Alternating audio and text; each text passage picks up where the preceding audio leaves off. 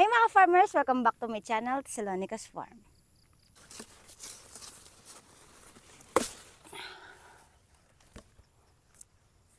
Jack pa tayo dito. Laki oh. Tigas pa ng... Pamputi, tibay pa ng ano. Oh? Laki. One part lang yung mukha ko.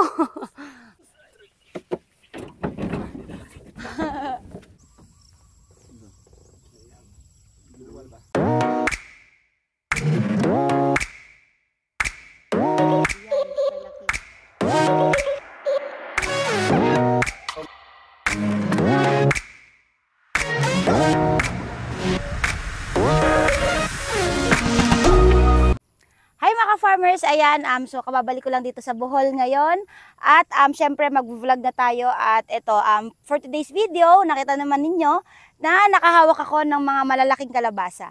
So nakatanim na kami dito sa area ko dito na at 3 months na rin, so ngayon is time to harvest na. So yan, papakita ko sa inyo yung area dito ng mga taniman natin ng kalabasa at ito, yan, makita naman ninyo yung background. Ah, naka-background tayo sa bundok at halos may fog pa dahil medyo umuulan ngayong araw. So, yun mga farmers, tingnan natin kung ganong kalabasa yung ka- ganong kadaming kalabasa yung ating makukuha. Samahan ninyo ako sa aking vlog na ito.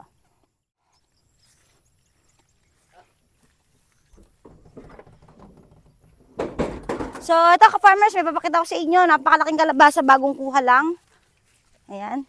So, ito si kuya pala yung nagtatanim sa atin dito sa area ko dito. Ang pangalan mo kuya? Arnel. Arnel, ayan si Arnel. So, tingnan nyo naman. Ang laki. Diyos ko, bumala pa sa mukha ko. Grabe. Ilang kilo kaya to? Mga limang kilo. Grabe nga sa kalabas na to. Pakaganda ng tanim natin. Ayan. So, dito natin ilalagay. So, dala ko tong, ari ko, truck natin ng, ano, na bonggo. Ayan. Nakita niyo dito natin ilalagay yung mga kalabasa. So mamaya pag natapos natin harvestin, tingnan natin kung gaano kadami yung makukuha natin kalabasa. So ayan, tapad dadating pa. Mamaya magput magkuha ako ng mga kalabasa.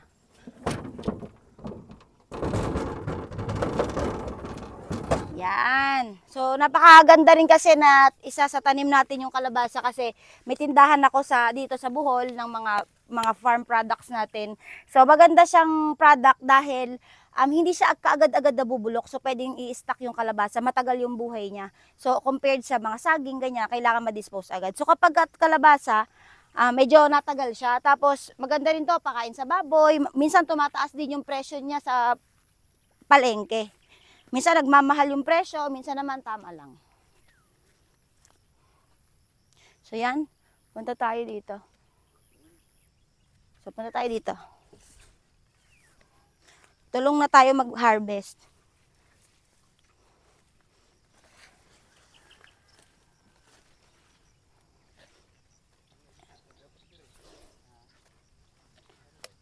So ayan, dito pwede na tayo ditong kumuha. Ito, okay.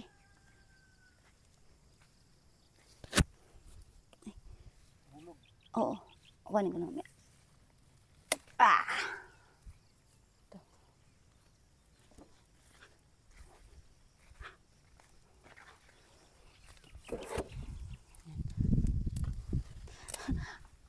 Ang tindi, dapat pa bumili ako ng bota. Hindi ko na ano na medyo ma- maulan kasi ngayon. Ha?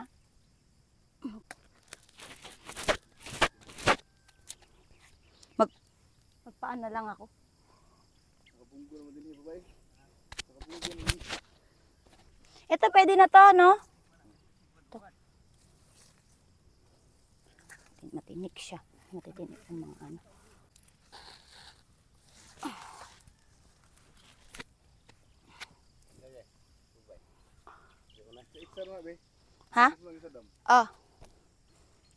Baka sa mukha mo tuma.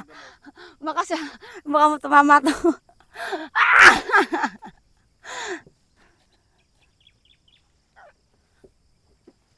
Mga farmers, ayan yung dami natin, punong-puno yung ano. May makahiyan ako, may tinik. Dapat yung maliliit, hindi pa siguro kunin. Saan na yun? Nakita ko, ayun.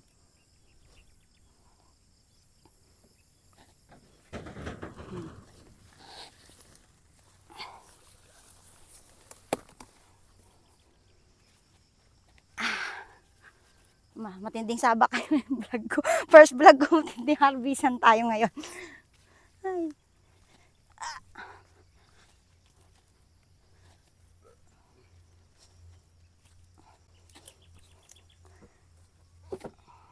Yan. Halo, ma- matagal akong walang vlog kasi halos dalawang, dalawang buwan ako sa Cavite. May inayos din kasi ako doon. Ito pa oh.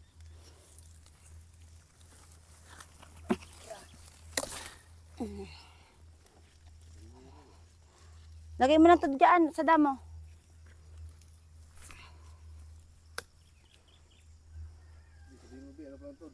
To? Dulo pa lang? Dalawang ektarya. So, itong nakikita ninyo na pinag-harvest natin dito, so dulo pa lang to ng bahagi ng kalabasahan natin na tanim. So, 2 hectares itong taniman natin ng kalabasa. So, hanggang dulo pa doon. So, pero pinapakita ko sa inyo yung buhana lang para makita niyo yung pag-harvest namin dito. Pwede na ba itong ganito?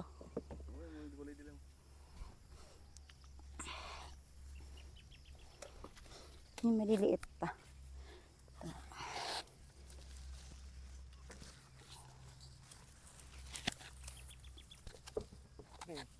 Kaya yan?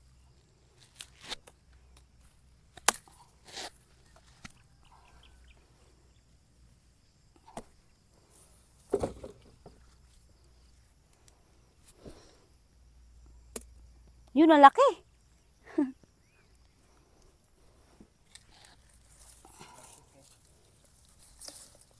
Maraming pataba. Ay, marami daw tayong pataba dito. Magaganda yung kalabasa, ah. malalaki talaga. Magkano kilo ng kalabasa ngayon? Kuya, magkano kilo ng kalabasa ngayon ngayon di sa, pal- sa palengke? Mga... 16 pero kuan lahat kunin. Ah, yung bulsilan, maramihan. Pero yung tinda sa palengke, mga 20, 20, 30. Yung mga ganun na presyuhan ngayon dito sa Bohol, mga 30 pesos per kilo. So, not bad na yun. So, yun mga farmers dito sa Bohol, yun yung presyuhan. Pero, nagtanong ako dun sa friend ko na taga, taga Cebu. So, ta- tapatan lang kasi yan, Cebu at Bohol. So, yung kuha sa kalabasa is 40 pesos per kilo. So, kopra na yun. Ibig sabihin, yung mismong nag-harvest, yun na yung presyo ng um, seller sa buyer. Tapos sa pagka pinasa na yun sa palengke, so mas mahal na yung presyo. So maganda talaga yung kalabasa kasi nga, yun nga, sabi sa inyo, um, tumataas minsan ang presyo niya, minsan pag lalo na nagtatagal yung kalabasa, pwede nyo i-imbak once pagtanim kayo ng ganito. Um, i-imbak nyo sa mga tindahan nyo, tapos yun, hindi naman siya mabubulok, matagal yung buhay niya. So, pinapakain ko din to sa mga native pigs natin dati, kung nakita nyo sa mga last video ko. So, nag-ano ako, nagtawag dito, nagpapakain ako niyan sa mga baboy. Ay, ito may sira. Kagaya nito, oh. May sira. Yan. So, hindi naman natin na to pwedeng isama sa mga goods kasi baka makahawa. So, yung mga ganito, ah, yun, pwede na to sa pangbaboy natin. So, hiwalay natin. Lagay lang natin dito.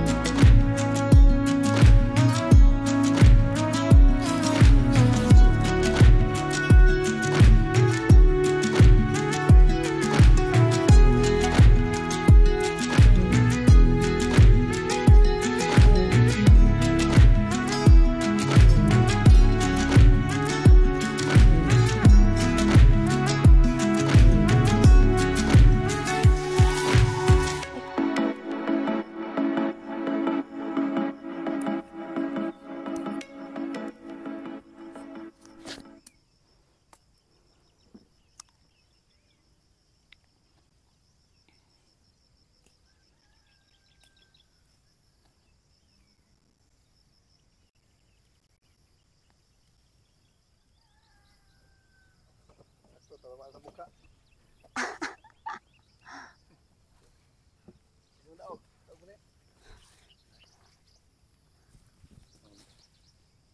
Jangan oh. sila, huwag ba niya? Pero.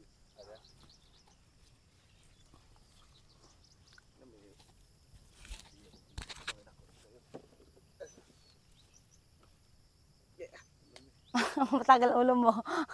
Butas. Butas yan.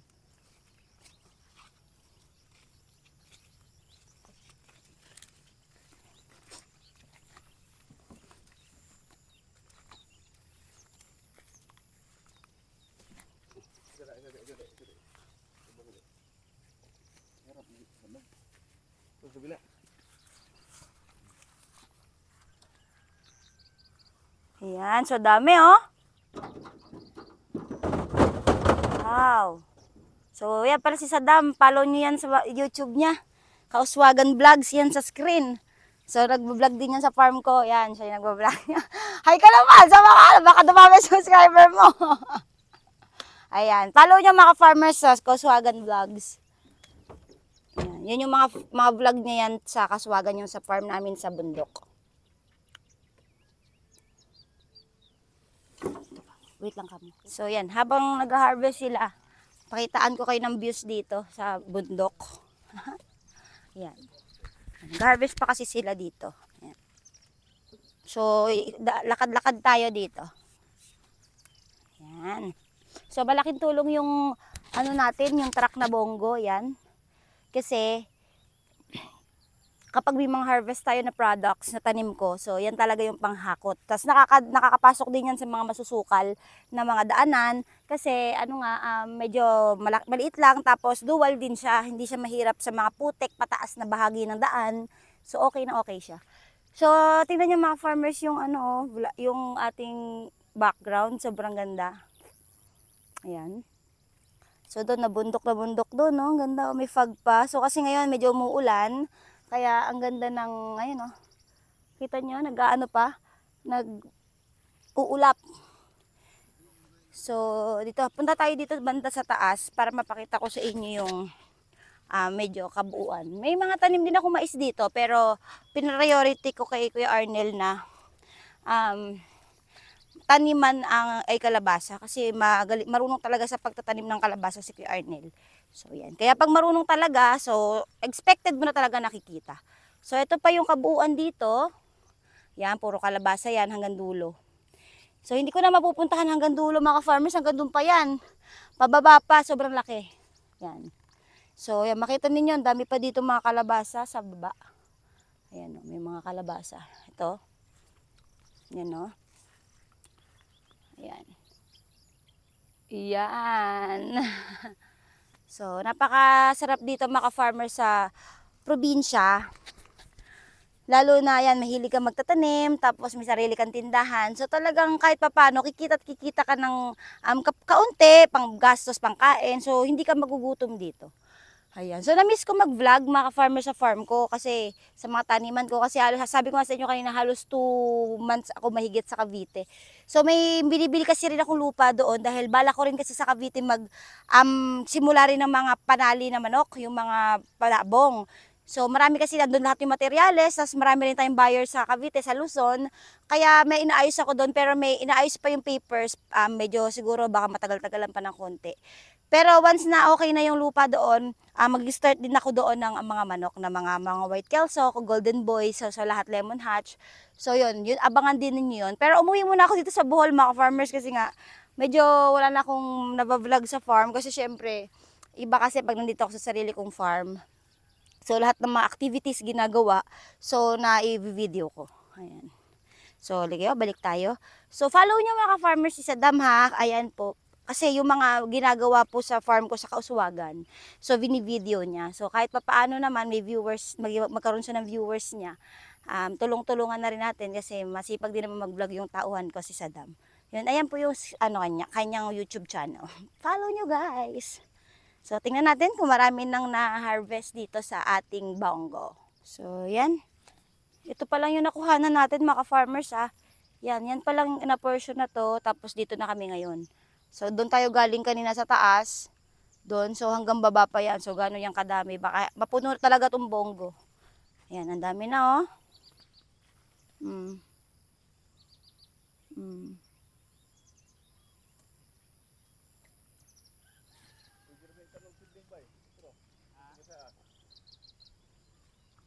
So yan sa Mindanao ganyan yung ano ganyan yung ano way of harvest na hagis. So, may mga tao sa mga nag-harvest, hagis-hagis na lang sila. Hindi pwede ibalik. Malain. Prima. Batik sa prima kay.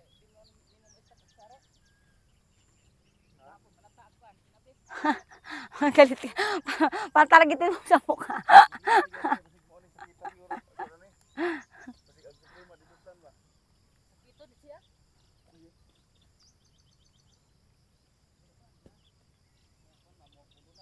Lalaki oh.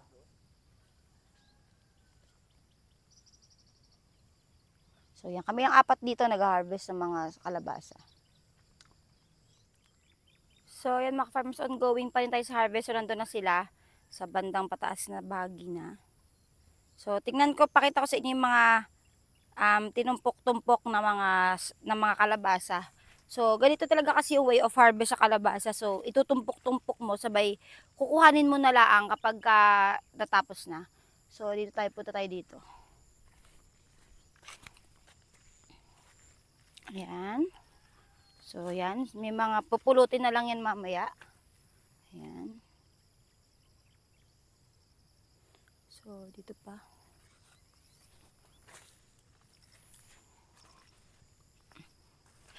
Ayan. So, may mga ganito pang kaliliit na mga kalabasa. So, hihintayin pa natin yan gumulang mga 1 to 2 weeks pa yan. So, malalaki na rin yung mga kalabasang yan. So, maganda, maganda yung harvest natin ngayon ng ating mga kalabasa. So, yan pa. Mm. So, meron pa doon. Yan.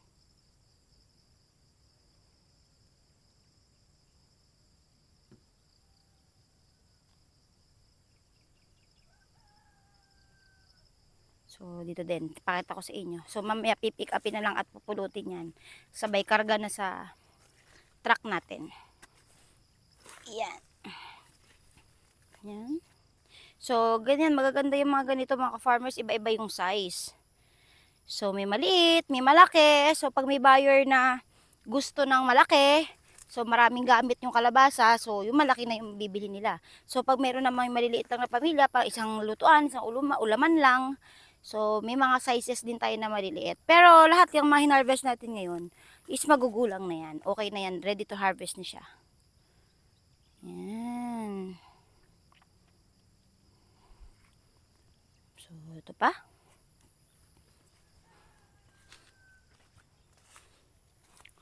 Yan. Ito pa. Yan.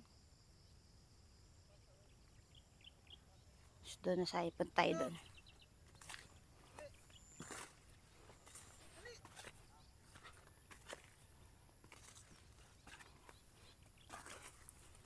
Ito.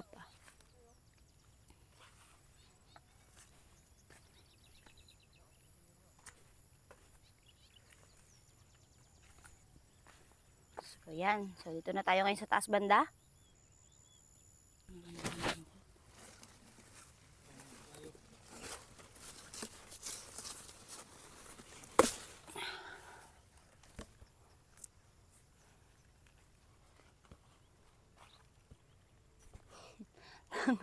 Salita.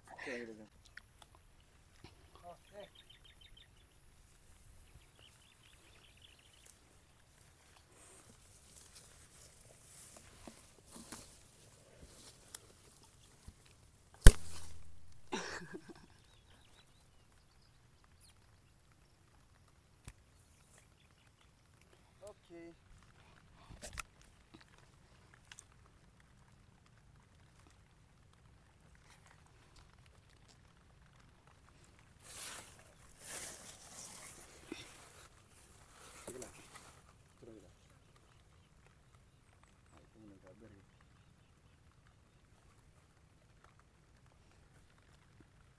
Game?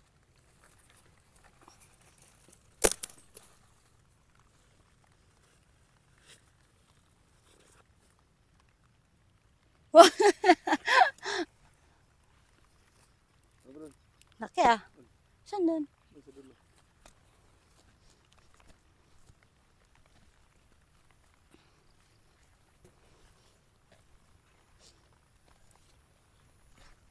Dito? Ang laki! laki. Yun o. Sobrang laki. Grabe na laki. Sa dagdag ko sa vlog. Grabe na laki ng mga kalabasan tanim natin. Ah. Jack pa tayo dito. Laki oh. Tigas pa ng pamputin. Tibay pa ng ano. Oh. Laki. One part lang yung mukha ko.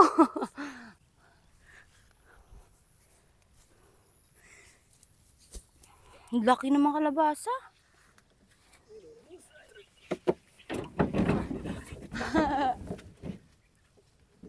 Yan, ang dami. Puno na. Kunti na lang.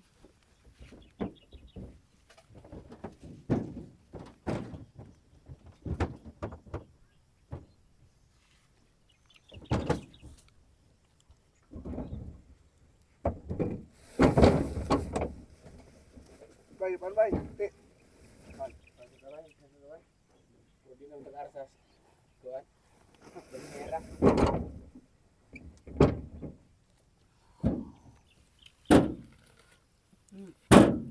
Dito mara- maraming ano.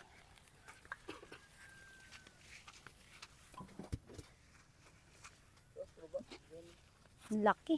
Yan oh.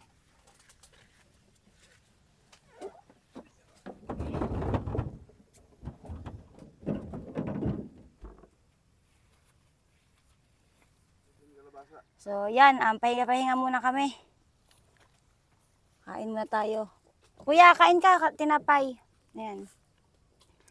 Meron kaming tinapay na ano to? Star and Tanzaymada. Ayan.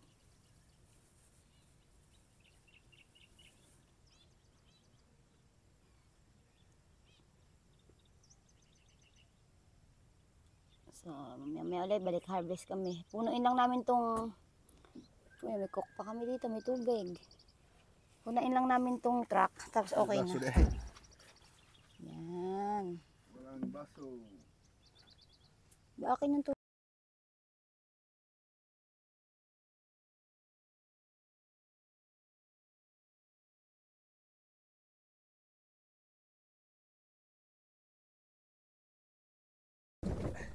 So, ayan mga farmers. Na puno na natin yung ano, bongo. So, konti na lang yung hakutin. Um, okay na to. So, ang punta nito, um, pwedeng ibenta sa palengke, um, wholesale price, tapos pwede din diretso sa tindahan ko sa Thessalonica Farm Store. Yan, may tindahan kasi tayo, maganda doon dahil um, may sarili tayong mga produkto na binibenta sa ano, presyo rin na pampalengke yung presyo ko doon. Yan. Ganda, tapos naka-background ka pa sa bundok. Oh. So, itong na-harvest natin halos isang truck ng bongo. So, mga um, one fourth na yung na-harvest natin dyan sa taniman natin, yung buong taniman. So, hindi ko kasi papakita kasi sa inyo kasi 2 hectares yan hanggang ilalim pa. So, pero mga one fourth na yung nakuha natin. So, ito mga farmers, pakita ko sa inyo. Puno na, puno. Mm. Puno na. Yan, oh. So hindi naman hindi natin yan pwedeng iapaw kasi baka pag nagbiyahe tayo pa labas dito kasi sudlunon to or pasukin tong area ko dito. So pag lumabas tayo hanggang highway, so baka hindi tayo makaahon, mabigat na yung truck kasi medyo putik din yung daan. Pero hindi natin masyadong pupunuin ng puno kasi baka ma maganda tapon-tapon sa daan. Yan. So ito, itong dami nito.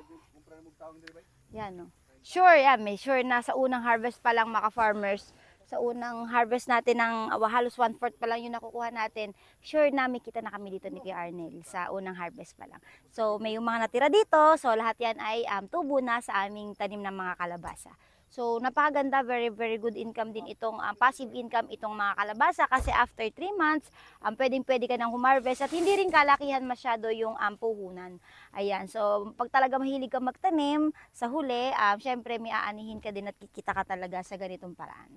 So, ayan mga farmers, so mapupuno na yung ating bongo. Luwal ba? Ha?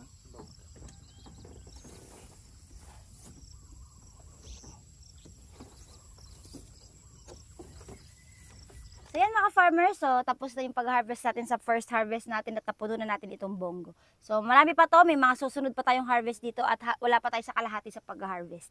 So sure na may kita na tayo dito sa ating ah, first harvest at syempre ibebenta na namin ito sa mga merkado or mga palengke kalapit sa aming mga lungsod. So yung iba naman i-display ko naman sa aking tindahan.